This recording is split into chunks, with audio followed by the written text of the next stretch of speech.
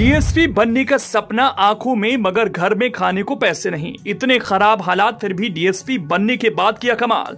गरीब, बेरोजगार का मज़ाक उड़ाने लगे थे लोग। माँ बाप करते थे मसूरी जब डीएसपी बना तो हर गरीब का समझा दर्द। एक बिस्किट के लिए ढोता था तीन घंटे ईट। ऐसी कसम खाकर की एमपीपीएससी की तैयारी और बनकर दिखाया डीएसपी।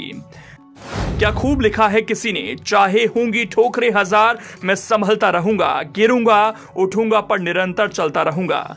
ये कहानी एक ऐसे ही होनहार काबिल अफसर की है, जिन्होंने गरीबी देखी, अपने पिता को धूप में जलते देखा, माँ को रोते देखा, लड़के ने किया ऐसा संघर्ष, आज करता है गरीबों की मदद। सड़क पर बारिश में भीगती बूढ़ी माँ को सरकारी गाड़ी से अपने साथ घर तक छोड़ा, अपनी माँ जैसा सम्मान दिया, फिर उनको अपना हक भी दिलवाया। ऐसा दरिया दिली आज के समय में देखने को कहा मिलता है।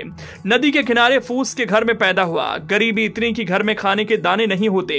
कोई गेस्ट आता तो इस साक में रहता कि आज कुछ अच्छा खाना खाने को मिलेगा। जैसे तैसे मम्मी पापा ने हम तीन भाई बहनों को पाला। खुद का झोपड़ी था, लेकिन पापा दूसरों की बिल्डिंग बनाते थे। वो राज मिस्त्री थे। माँ को खेतों में काम करने के लिए जाना पड़ता था। अफसर की माँ आज भी काटती है खेतों में घास। अफसर बनने के बाद अपनी माँ से मिले। माँ खुशी से हुई भावुक। डीएसपी बनने के पाँच साल बाद पुलिस की वर्दी में पहली बार जब अपने गाँव में माँ से मिलने गया तो खुशी के उनके आँसू रुक नहीं रहे थे। भैया चाचा तू अरे अब अभी अब कह का चाचू करत है फालतू तो का करम भैया भैंसिया एक खराखे बिना दूध घी बिना नहीं चले चार रिश्तेदार आएँगे। तब आए तो पैसन से खरीद ली ना कहाँ पड़ी है हाँ, चक्कर तो में? सही कहा था भैया पे का करूँ? सयान आदमी है तो बैठे चैन पड़त है। तो कराई का परी तो चलो ना वहीं रहो ग्वालियर में। हाँ भैया चलियो पे अब नहीं चल तू अब नाते का गेहूँ? हाँ गोहुआ बाई हो भैया माहू राग गए सरसोन माहू का हो तो रोग। रोगा हो तो कीड़ा हो तो भैया। तो ये का गुड़ालिया छोड़ रहे? हाँ गुरारिया चाचा तू। का भैंसिया के लाने? हाँ भैंसिया के दाने आ बेटा चाचा तू।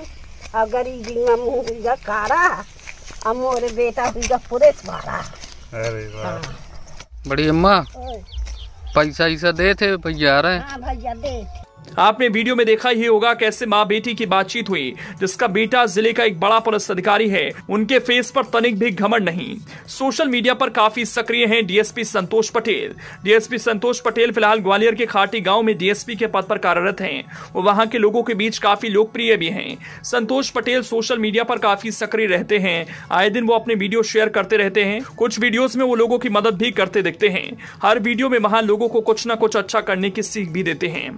Bureau report, InfoDex 24.